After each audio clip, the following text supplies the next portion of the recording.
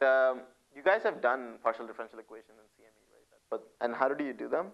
You did them just by using ODEs over and over again, or?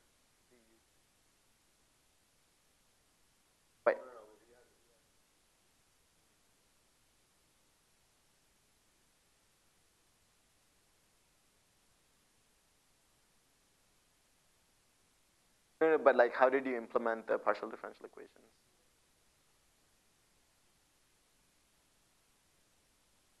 It was just ODEs, and then you joined them all together.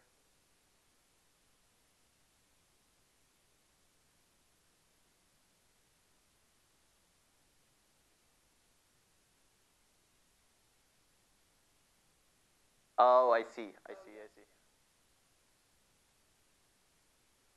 I see, I see, I see. Okay, so this is, uh, I'm going to talk about PDEPE, box inside of MATLAB, which makes things a little bit easier because it does all of that for you. So hopefully that'll be helpful. Um, it can't be used for all sorts of partial differential equations. I'll talk about what it can be used for uh, in a bit. Um, but so, you know, just generally, if you remember anything about partial differential equations, we have now you have the partial differential equation itself, and then you have initial values, and then you have boundary conditions, right? And so just generally the syntax, I'm going to talk about what M is, but the second argument to PDEPE is called PDE fun, which is the partial differential equation.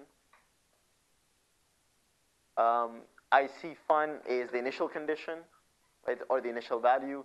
BC fun is the boundary condition. So there are three main such arguments to PDEPE. And the actual equation, initial value, boundary condition. Then XMesh and T-span. Um, so PDEPE, one limitation of it is it's used for partial differential equations in one space variable. So, and that's specified in mesh, right? So that's sort of your vector of x values for which um, you partial differential equation, integrate the partial differential. Span is your time variable.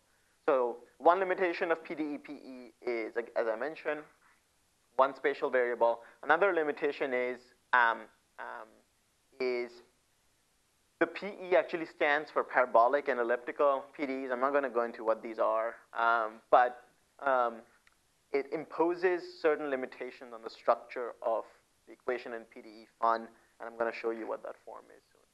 Are there any questions about the syntax? So this is just the syntax. You call PDEPE and sol gives you um, output.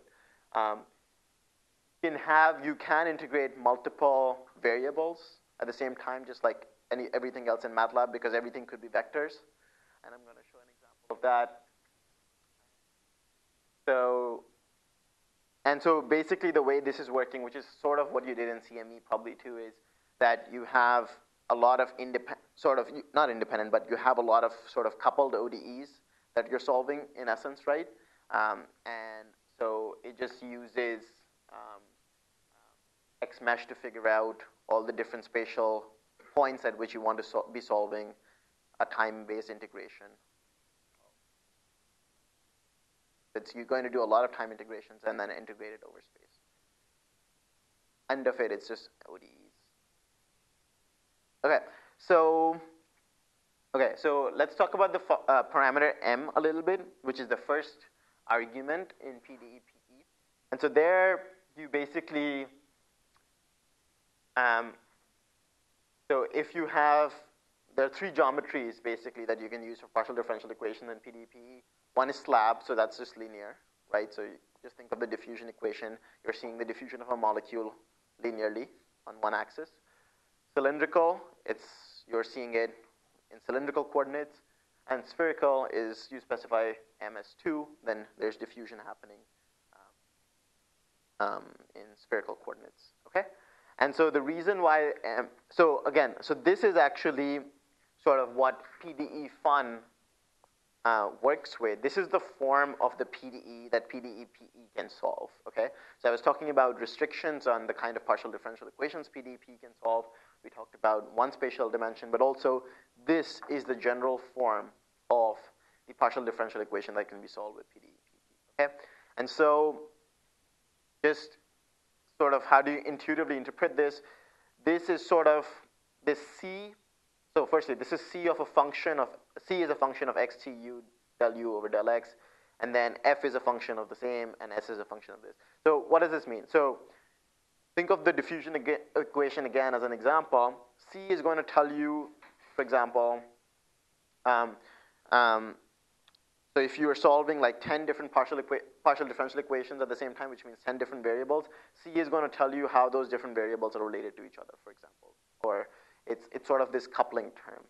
F is a flux term. If you remember Fick's law, this, so F would be, for example, del U over del X, right? In the simple case of Fick's law, in the diffusion equation where you have del C over del T is D times del 2C over del X2. So you'll have del over del X of del C over del X. So F would be del C over del X, right? Just the flux term. And M comes here. So again, remember with spherical coordinates, you have r squared. With cylindrical coordinates, you have r, and with just Cartesian, with just simple axis linear coordinates, you have no coefficient here. So that's that. And this is sort of a forcing term. So if you guys remember, like if you would do the reaction diffusion modeling with the reaction with an elimination term, so that would come here, or like a velocity profile that would come here, for example. So again, this is the form of partial differential equation that can be solved with PDE. Um, any questions about that? So C, F, and S are outputs of PDE fun. Okay, so that's how MATLAB knows this is the partial differential equation I'm going to solve. Okay, because that's the only thing that's very apart from M. The, that's the only thing that needs to be determined, right? To say this is my partial differential equation is C, F, and S, and you're going to tell MATLAB that through PDE fun. Questions about the general form of do some examples soon, and hopefully that'll be less dry than this stuff. But I need to go through the syntax first. This is just the form of the partial differential equation that PDE are functions of x, t, u, and w over del x.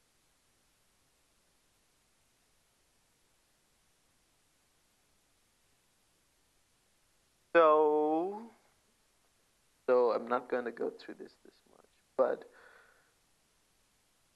Okay, so let's talk about some other stuff in terms of the other functions involved in this. So we talked about PDE fun, which outputs CFS. We talked about M. Let's talk about IC fun. That's just giving you initial values, okay? And so IC fun, this function looks something like, actually I have it here. So IC fun will look something like, you, so of course for IC1, the time value is T naught, the initial time value, right, is an initial value. And so you basically calculate an initial value for every spatial coordinate, right?